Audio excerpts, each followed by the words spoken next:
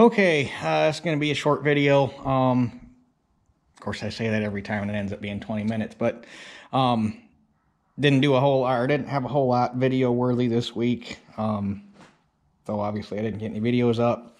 Uh, got the mini excavator service, so that's ready to rock and roll. Uh, change the engine oil and the diff or differential oil and the that little Moline garden tractor and put the deck back on it and got it up in the other barn so that it's out of the way for now. Um,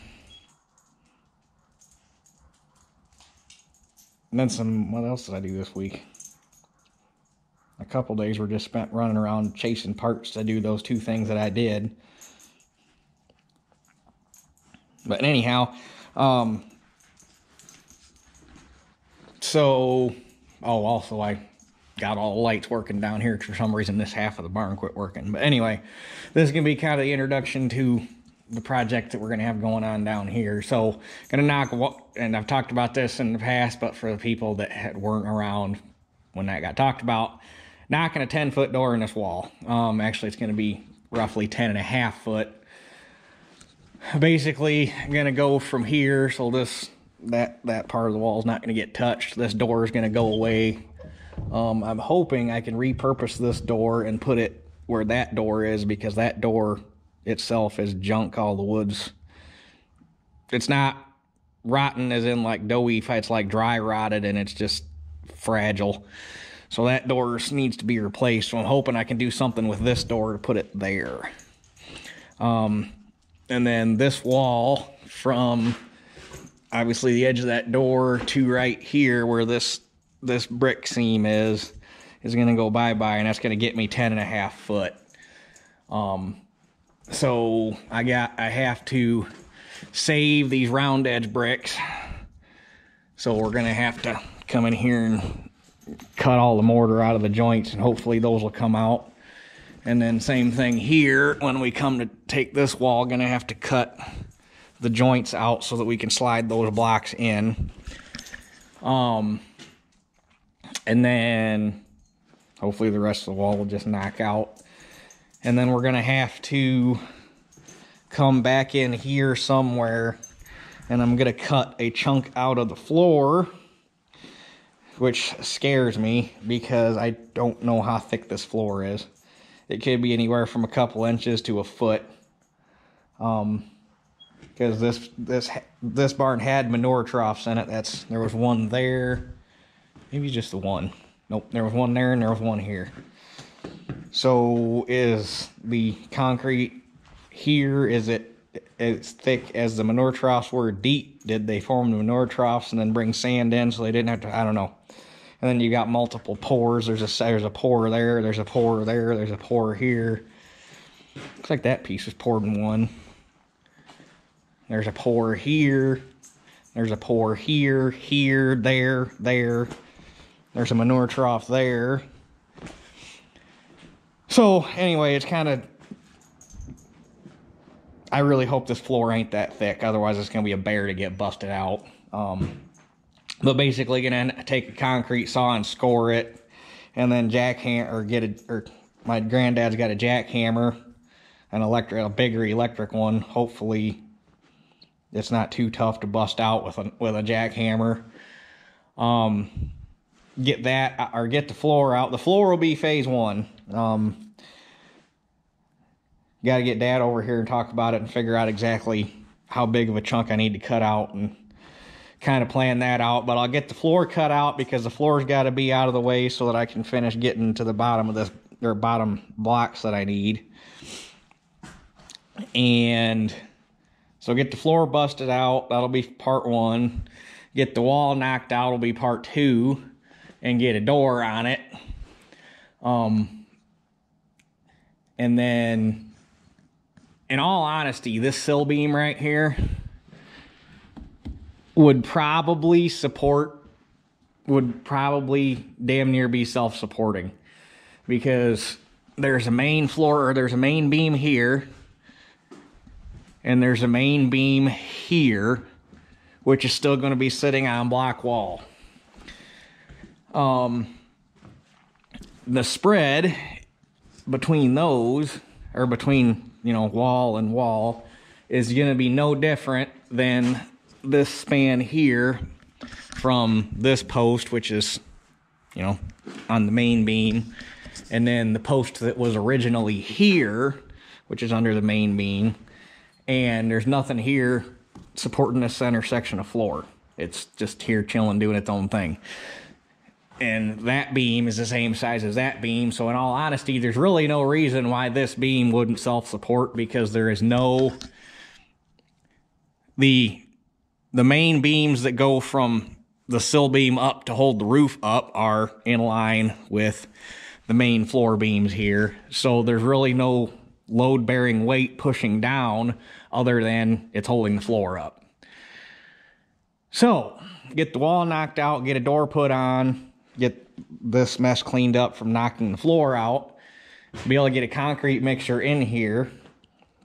I'm gonna have to pour a ramp because there's like a like a six or seven inch actually it, the concrete on the outside of the barn tapers it's uh, higher up here and then it goes down i think it starts out at about a block there a block down and it gets down to like a block and a half two blocks on this corner so it's slanted um, but gonna have to pour a ramp in here so that obviously you can get in. Um, and then gonna pour two pads with foot with uh, gonna have to dig down pour pads with footers um, under these main beams. And then gonna build a steel arch that will come just inside the wall and inside the sill beam and basically lay underneath the floor joist it's kind of it's gonna be kind of a redundancy kind of a feel good measure because like i say in all honesty that sill beam will probably self-support and the barn won't even know that that chunk of wall is missing. But it's a feel-good thing to have that steel uh, arch there to help just kind of a backup. So that's going to be the main part or the main worst part of it. And then gonna gotta put a plumb bob or something in there and figure out where center's going to be down here, which it looks like might have to.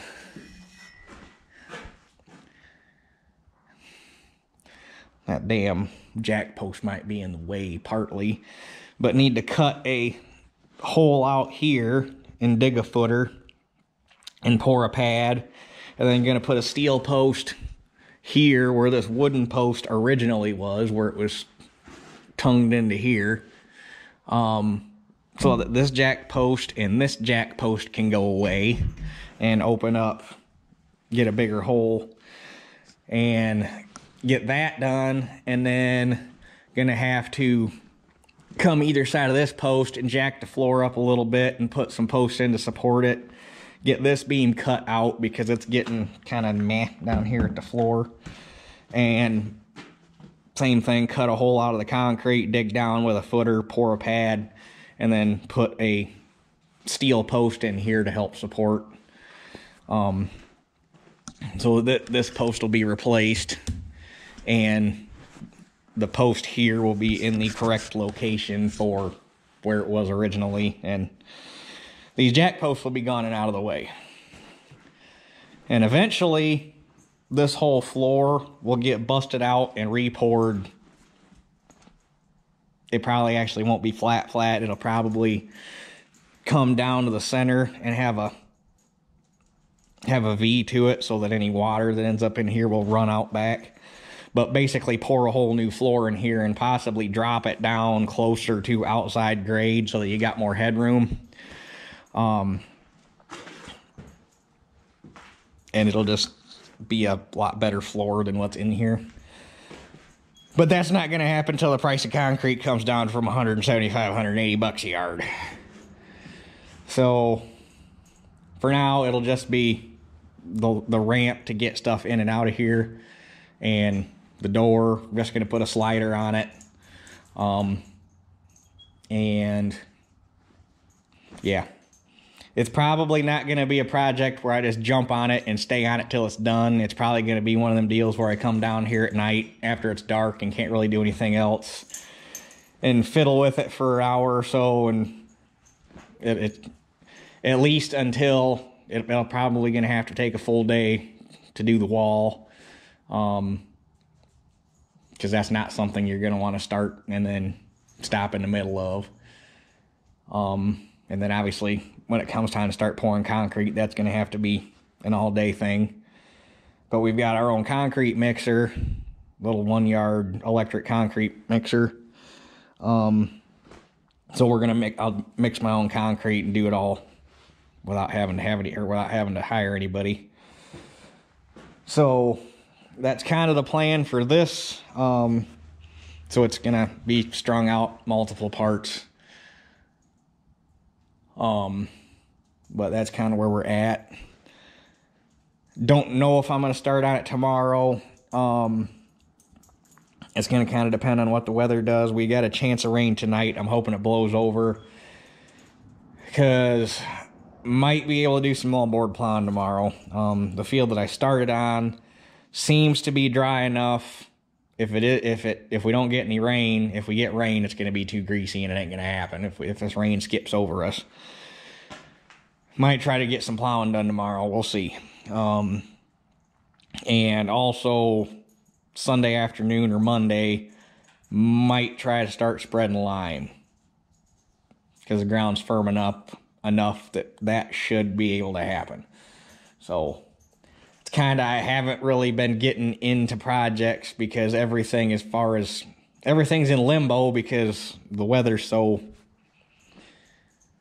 hard to predict right now what we can and can't do. So I haven't really started any projects because I don't want to start on something and be able to do field work.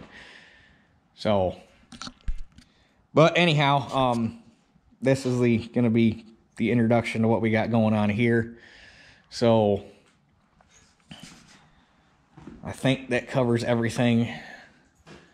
And then once this once this is done, um, I might have a lead on some barn lumber that I can use to fix the floor.